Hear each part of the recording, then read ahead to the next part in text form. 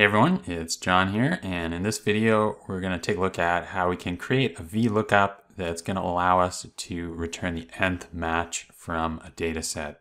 So to do this, we're going to need the new dynamic array functions in Excel. And if you want to follow along with this video, you can get the workbook that I'm using in the description below. Now, before we get started, make sure you hit the thumbs up button and subscribe to the channel for future Excel videos like this one. Now let's get started. So we've got a small data set here and in it we're going to be looking up our category ID and the category ID actually has some duplicate values here. So we see, for example, ID 7 a couple times in our data set. And what we want to do is look up the product based on the category ID in this data set.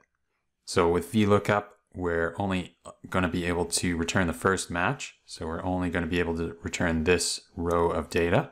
But with some of the new dynamic array functions, we can actually get the nth match now. So let's take a look at how we can do that. So first off, we're going to use the if function. And with the new dynamic array functions, we actually get a new calculation engine for Excel under the hood. And this means that a lot of the old functions are now able to become dynamic arrays themselves. So let's take a look at that. Let's use the if function. And what we're going to do is we're going to test our category ID in our data set and see if that's equal to the category that we're trying to find. And just as a little placeholder, let's put a 1 and a 0 in there. So it's going to return 1 when that's true and zero when it's false. And you can see that that if function now spills down our range. And that's because of the new calculation engine behind the scenes. So right now we're trying to look for category ID number five. And we can see that whenever we have a one here, that's where we have a category ID five. But what we want to do is order these matches and we're going to use the sequence function to do that. So instead of a 1 here, what we're going to do is use the sequence function. And that's one of the new dynamic arrays, and it's going to allow us to create an array of any dimension. And so we're going to use that just to create a list of uh, values from 1 to however many rows of data we have. So for us, that's 20 rows of data. And we just want to return one column in our sequence. And we're going to start at 1. And we're going to increment that by 1. So you can see now where we had our matches, we start at 1. And then each cell is incrementing by 1. Except for where we ha don't have a match, we still have a 0. And here we have a match. Now we're up to 9 and 15 and 17. And of course, we don't want to hard code this 20 here, as if we add new data into our table, that's not going to work anymore. So we're going to use the rows function and just count how many rows of data we have in our table. And it actually turns out that these values here in our sequence function, so those are optional arguments. And when you don't include them, they actually default to one. So just to simplify this, we're gonna remove that. And we end up with the same result here. Now to find our nth item, what we're gonna use is the small function.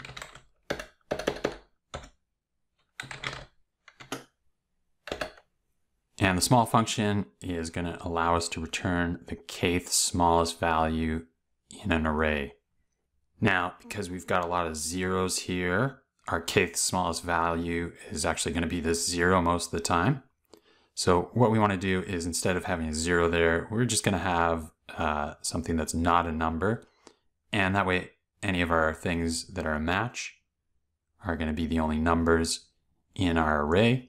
And then, for example, when we try and find the second smallest value, in this example, it'll be 15. So let's just press escape. Let's come down here and instead of zero, what we're gonna do is put an empty text string in there. And now we just have numbers whenever we have a match. And now if we use the small function around this,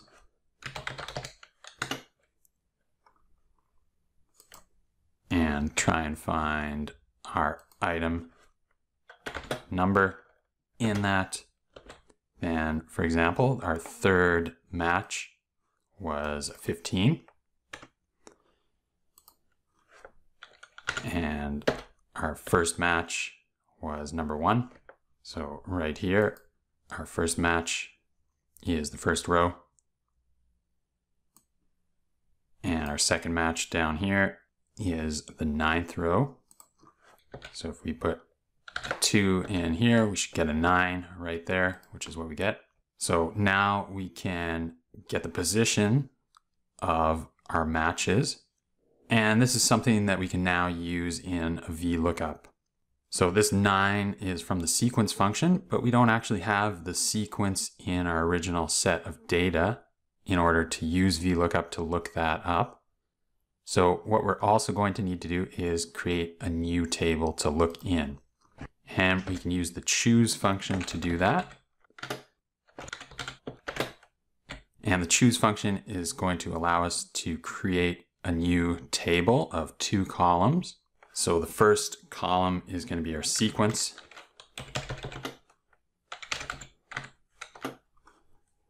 And let's again reference our table. And our second column is going to be the thing we're trying to find. So we're going to try and find our product. And if we press enter, what we get is a new table of data. And the first column is our sequence of values. And our second column is our product.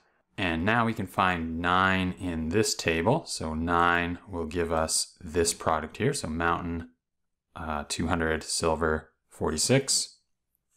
So let's wrap this in a VLOOKUP. And this is the value we're trying to look up. And just to save ourselves some formula writing, let's just copy this and come back here and try this again. So VLOOKUP, we're going to look up this value and we're going to look it up in this new table that we've just created. And we're going to return the second column. And we're going to do an exact match. And there we go. So let's just cut and paste this over here. So now we're looking up category ID 5 and we're looking up the second item in our data set. So here's item number one. And here's item number two. And the product for that is our mountain 200 silver 46. And that's exactly what we have now. Let's try and find category 27. So here's our first 27. And again, we're still looking for our second uh, record. So here's our first, and here's our second, and it's Racing Socks M. And that's what we have up here. Now we're gonna do something a little bit more. So with these new dynamic array functions and the new calculation engine, as we mentioned before, most functions can now spill. So with that in mind, what we're gonna do is use that to return all the values in our record. So I'm just gonna copy this and I'm just gonna paste it as a formula down here. And if we want to return all the records, what we can do is instead of this single value input, what we can do is put an array of values in there, and then that's going to return uh, multiple values for us. So right now we're just looking up in a two column table. So it, we could put an array uh, that contains one and two. And then we're going to get a VLOOKUP that spills. So here we're returning uh, this value. So 18 and Racing Socks M. But let's just edit our uh, table here so that we have some more fields from our original data set. So instead of the orders and just the product field, what we're going to do is reference our entire table. And now instead of choosing two columns, so here's column one and here's column two, what we're going to do is add some more columns in there.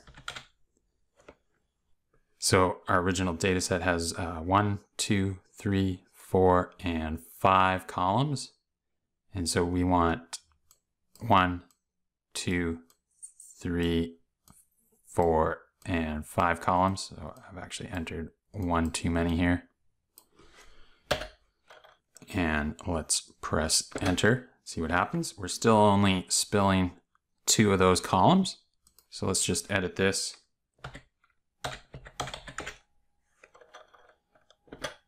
And there we go. We're now retrieving the entire record from our data set. So we have the category, the product, the quantity, and the total. And let's just play around with this a little bit. Let's get category five. And again, our second record. So that should be mountain bikes, uh, mountain 200 silver 46, quantity of two and 2,783. And that's exactly what we have right here. Notice our first value in our record is actually from the sequence and not the category ID. These functions here, they're mostly just for fun and for learning because if you really wanted to return an entire record, you would use the new filter function to do that. So let's just delete this. And if we use the filter function, what we would do is reference our entire data set and then filter on category ID and set that equal to our category that we're looking for. And that's it. And that's going to return all the records in our data set that match our category that we're looking for. So here we've got four. Let's look for category 27. Here we've just got three records. Let's try out category seven. So that's how we can create a VLOOKUP that's going to return the nth match for us. And we can also create a VLOOKUP that's going to return the entire record for that match. But with the new filter function, it's a little bit redundant and more for fun. If you enjoyed this video, make sure you hit the thumbs up button and subscribe to the channel. That's it for this video. See you guys next time.